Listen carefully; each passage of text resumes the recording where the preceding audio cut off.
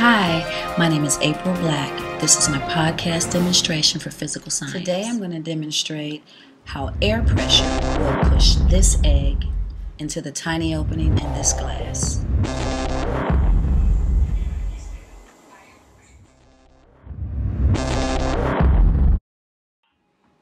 The materials that we'll be using today are, of course, an egg, a small jar, a lighter, and a piece of paper.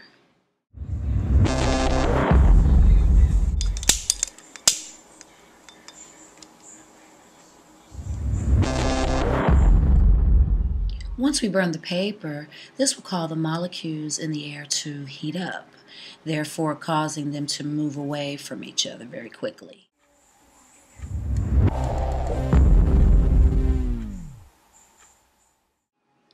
Since fire needs oxygen to continue burning, the fire actually goes out once we place the egg on top of the hole. Once the fire goes out, this causes the air to quickly cool again, causing the molecules to move closer to each other, causing what we call a partial vacuum. This is going to cause a lower pressure inside of the bottle and a much greater pressure outside of the bottle. This pressure is what is actually going to push the egg into the tiny hole.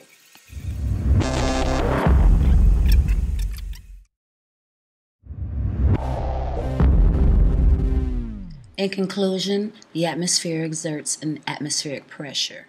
When the paper was lit and the air inside of the bottle got hotter, it began to expand, causing some of the air to actually escape through the bottle. This is why you notice the egg actually jiggling at the top of the hole. It was due to the atmospheric pressure inside trying to escape outside. And of course, because the pressure on the outside of the bottle was much greater than the pressure inside of the bottle, this in turn caused the egg to be pushed down into the hole. And that's my two cents on atmospheric pressure. Thanks.